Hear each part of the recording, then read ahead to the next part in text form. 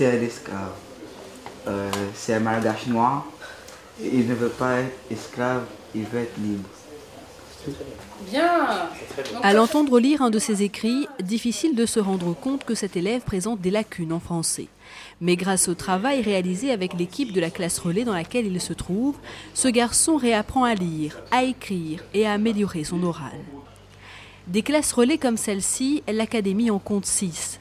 C'est pour se rendre compte de l'intérêt d'un tel dispositif que le recteur Mostafa Fourar s'est rendu au collège de Montgaillard à la rencontre des jeunes et des équipes.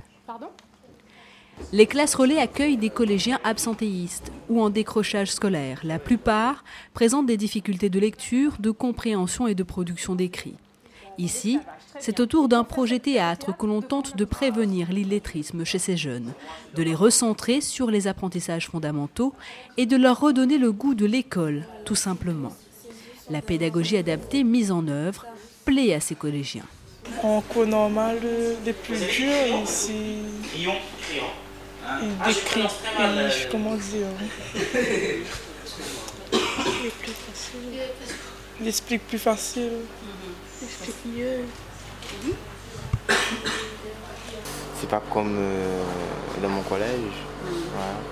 Parce que dans mon collège, il n'y a pas ça, c'est juste euh, foncer tout et tout, casser la tête quoi. ouais, donc c'est pas pareil. Ici, là-bas, pas pareil du tout. Ces élèves sont en classe relais durant un trimestre, trois jours par semaine. Le reste du temps scolaire, ils le passent dans leur établissement d'origine. Nombreux sont ceux qui ne souhaitent pas forcément y retourner, malgré le travail de l'équipe pédagogique composée d'un psychologue, d'une éducatrice spécialisée et d'un assistant d'éducation la transition se fait parfois difficilement. Nous les stigmatisons toujours en les désignant comme étant des, élèves en échec scolaire.